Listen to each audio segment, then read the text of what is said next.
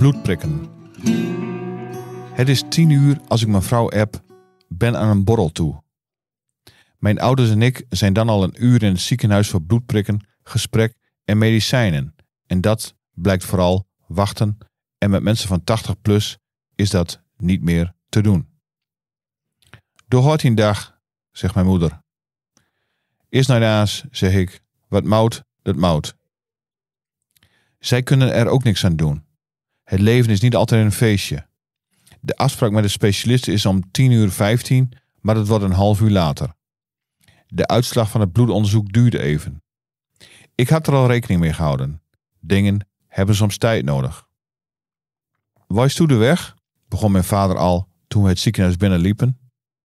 Ik ben de weg, grapte ik.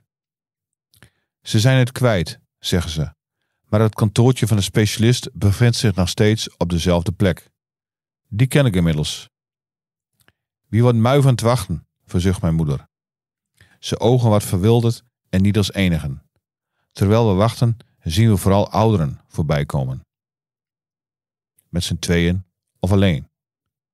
De bewegwijzering is simpel met kleuren en nummers, maar een mevrouw achter een rollator zegt bij de secretaresse van rood 17 dat ze bij geel 6 moet zijn.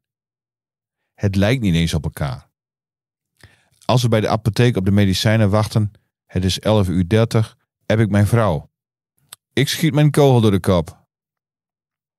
We gaan het de volgende keer anders doen.